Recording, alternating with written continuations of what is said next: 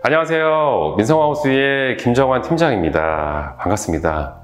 오늘은 정말 antique하고 고풍스럽고 예쁜 인테리어의 고급 빌라를 소개하겠습니다. 제 얼굴 옆쪽으로 보이겠지만 어, 인테리어가 굉장히 강렬합니다. industrial 인테리어라고 해야 될 것 같은데요. 오늘 제가 좀 영어를 쓰고 있는데 우리나라 말로 딱히 뭐라고 표현해야 될지 모르겠습니다. industrial 인테리어는 어, 요즘 우리 서울 성수동에 있는 예쁜 카페들 있죠. 그곳에 있는 인테리어를 떠올리면 될 것 같습니다. 공장들이 문을 닫고 파이프라든지 수도꼭지 이런 자재들을 버리지 않고 살려서 인테리어를 한 건데요. 오늘 소개할 집도 파이프, 뭐 수도꼭지 이런 것들로 곳곳에 강렬하게 인테리어가 되어 있습니다. 전용 면적은 30평에 서비스 면적을 확장해서 실사용 면적은 40평 타입입니다. 제가 오늘 소개할 이 빌라 위치는 일산 식사동에 위치하고 있습니다. 외곽순환 고속도로까지는 1.5km, 동국대병원과 모든 편의시설이 있는 곳까지는 차량 5분 거리에 떨어져 있는 전원주택들과 모여 있는 곳에 있습니다. 오늘도 제가 꼼꼼하게 촬영할 텐데요. 어, 복층까지 있습니다. 복층까지 빠르게 편집을 해서 올리도록 하겠습니다. 제가 소개하는 집들이 보고 싶으시면 주말 휴일 상관없이 언제든지 연락 주십시오. 제가 안내해 드리겠습니다. 오늘 소개할 집 영상 출발하겠습니다. 어, 여기가 제가 오늘 소개할 이 빌라의 위치입니다. 고급스러운 단독주택들과 모여 있습니다. 모두 3개 동을 분양하고 있습니다. 이제는 자녀 세대가 5세대, 4세대 정도 남아 있습니다. 공동 현관에는 계단이 없는데요. 어, 엘리베이터가 없습니다. 그러니까 최고층은 3층짜리 빌라입니다. 오늘은 2층 세대를 일반층을 소개하겠습니다.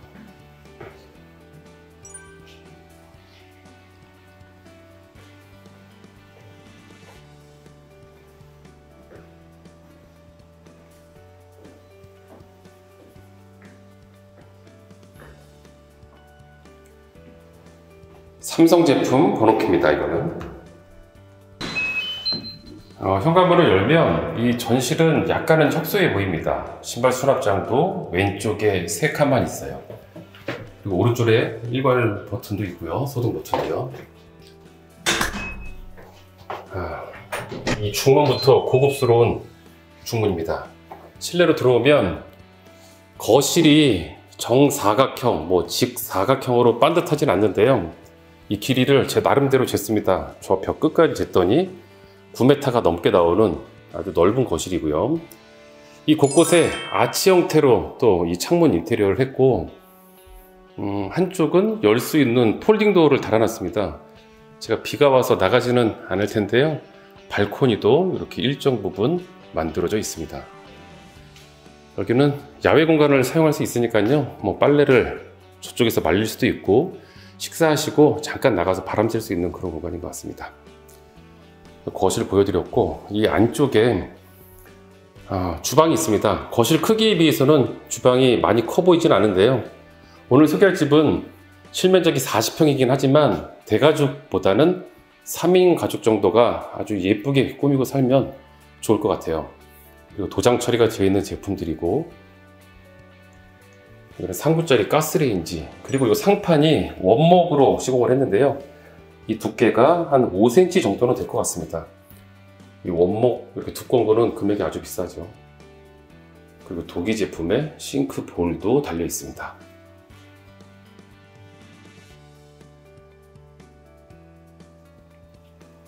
그리고 식탁 등이 여기에 있는데요. 식탁을 음, 이쪽에 다 놓아도 되는데 여기 너무 약간은 협소해 보이고 이 창문 쪽을 벽에 붙여서 이렇게 4인용 식탁 동조를 여기다가 놓아도 주방을 왔다 갔다 하는데 동선에 뭐 불편하거나 방해가 되진 않을 것 같아요.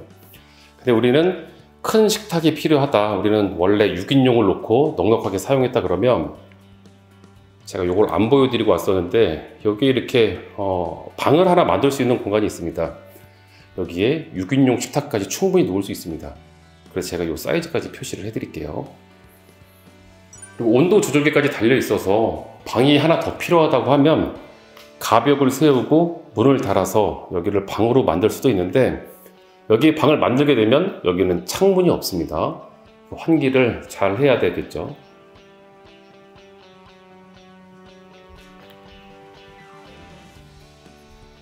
주방 옆쪽에 보일러실 겸 세탁실이 있는데 보일러는 1등급 귀뚜라미 제품이고 제가 아래 보니까 세탁기 연결할 수 있는 수준이 보이진 않습니다. 그거는 달 수 있어요. 비용도 얼마 안 드니까 달아서 타워 형태의 세탁기 건조기를 놓을 수 있습니다.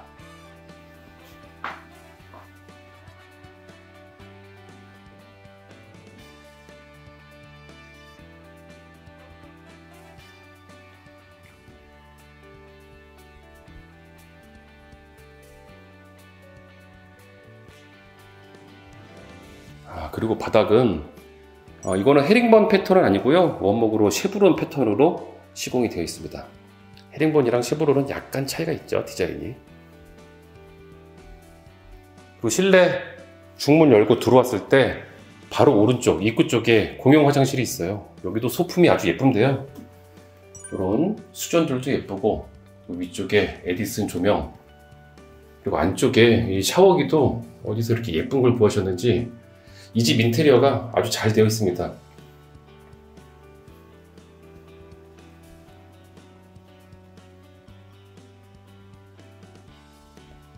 이게 이제 어, 중간방 정도 됩니다. 사이즈는 이 정도로 넉넉해 보이고요.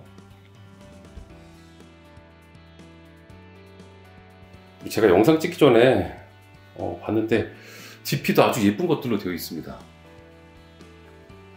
가격이 아마 어마어마하게 비쌀 것 같네요.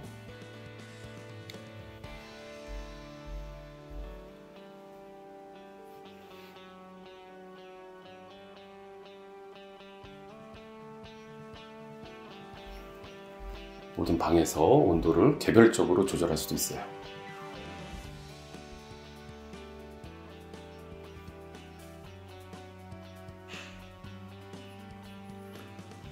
아, 그리고 이 건물 남는 자투리 공간이 있어서 여기를 창고로 만들어 놨습니다. 청소기, 뭐 계절용품 이런 거를 보관할 수 있는 작은 사이즈의 창고가 하나 있고 그 반대편에는 멀티룸이 있습니다. 다목적으로 사용할 수 있는 공간인데 만약 어린 아이가 있다면 어린 아이가 잘 때 밖에서 이렇게 또 봐야겠죠. 뒤집어서 숨이 막힐 수도 있으니까 그렇게 케어할 수 있는 방 혹은 사무실 요즘 뭐 프리랜서인 분들 그리고 또 코로나 때문에 재택근무하는 분들 많은데요. 여기를 사무 공간으로 꾸며도 아주 예쁜 그런 오피스가 될 것 같아요. 또 뭐 요가실, 홈짐으로 사용할 수도 있고요. 그리고 여기가 부부가 사용하는 안방인데요. 안방 인테리어 예쁘죠? 웨인스코팅, 뭐 도장 처리, 예쁜 조명들까지요.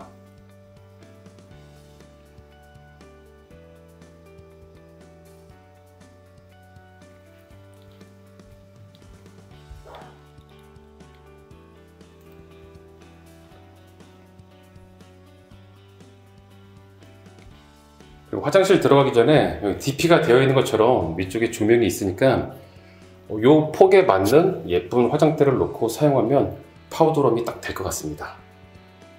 그리고 안방 화장실 아주 넉넉하죠. 욕조까지 있습니다.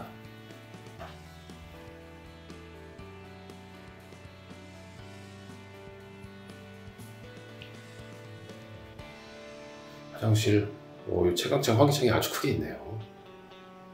그리고 욕조도 일반 욕조가 아닌 아주 예쁜 욕조가 놓여져 있습니다. 오늘은 인테리어 정말 예쁘죠? 고급스러운 인테리어의 빌라를 소개했습니다.